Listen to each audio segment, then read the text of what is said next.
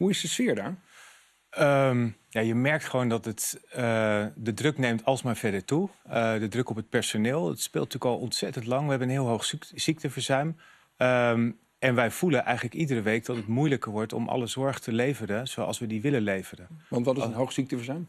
Uh, nou, dat is op dit moment iets van 15 procent. 15 procent? Dat is echt wel, dat is echt wel fors. Op, uh, ja. Mm -hmm. en, en daarbij, kijk, wat wij, wat wij zien is... we moeten iedere week moeten we meer zorg afzeggen voor patiënten. Uh, we hebben vorige week ook één nacht vijf patiënten moeten laten overnachten... op de spoedeisende hulp. Uh, ook vanochtend waren we weer de hele dag bezig met te kijken... hoe kunnen we zoveel mogelijk mensen uitplaatsen... zodat we weer ja, genoeg spoedbedden hebben voor vannacht. En dat is de situatie waar we in zitten.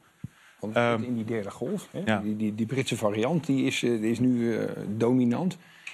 Welk verschil, verschil ziet u op de vloer? Nou, die Britse variant, dat, en dat komt ook uit, uit onderzoeken, die, die is toch agressiever. Dus we zien ook dat, die, uh, dat de sterfte onder mensen onder de 65 is hoger. En we hebben dus ook ja, iets meer uh, jongere patiënten op de afdelingen dan daarvoor.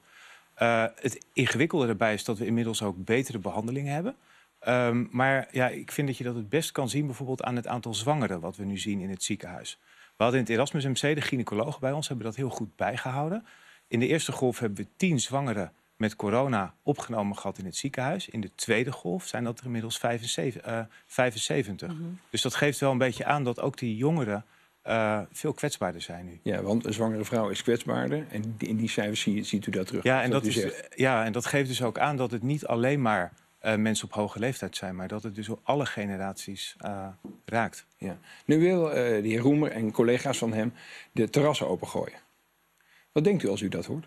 Um, nou, la laat ik vooropstellen dat we eigenlijk allemaal hetzelfde willen. Hè? Want wat de burgemeesters zeggen van voor ons is het een probleem met handhaving. Wij denken dat we met de terrassen opengooien de besmettingen uh, beter naar beneden kunnen krijgen. Ja, in de ziekenhuizen willen we ook dat die besmettingen naar beneden gaan. Want, want we voelen die druk. Um, wat, wat wel verwarrend was vorige week is dat je dan ziet dat die druk toeneemt. Dat we meer en meer patiënten krijgen op onze eerste hulpen. En dat er dan opeens uitlekt dat de terrassen uh, open kunnen. En dat, ja, dat daar plannen voor gemaakt worden. Omdat op zich het verhaal van de burgemeesters is denk ik heel duidelijk. Want ze hebben een handhavingsprobleem. Maar wat je in de samenleving merkt, is dat die terrassen ook een soort ja, haast metafoor zijn voor onze vrijheid. En ik ben bang dat het niet stopt bij de terrassen, maar dat er dan een vervolgdistributie ah, krijgt. Dat is allerlei even, andere maatregelen. Dat is even belangrijk om te zeggen. Dus u zegt niet, het is het gevolg uh, als die terrassen opengaan dat er meer mensen besmet raken. Het is meer de signaalwerking. Als je de terrassen open doet, zeg je eigenlijk tegen de samenleving: holla die, het feest is weer begonnen. Is dat uw punt? Nou, dat was in ieder geval het signaal. Zoals ik vorige week in de media het gevoel kreeg dat dat leefde bij de bevolking. Ik vind het verhaal zoals de burgemeesters dat nu hebben... van wij denken dat we zo beter kunnen handhaven... en dat dan de besmettingen naar beneden kunnen... dat vind ik een heel plausibel verhaal. En zij hebben daar ervaring mee, dus ik denk dat we daar ook zeker naar moeten luisteren. Ik wil vooral het signaal afgeven uh, dat we uit moeten kijken... dat we niet te snel te veel stappen zetten... terwijl het evenwicht in de ziekenhuizen nu al zo wankel is. Meneer Roemer, wat maakt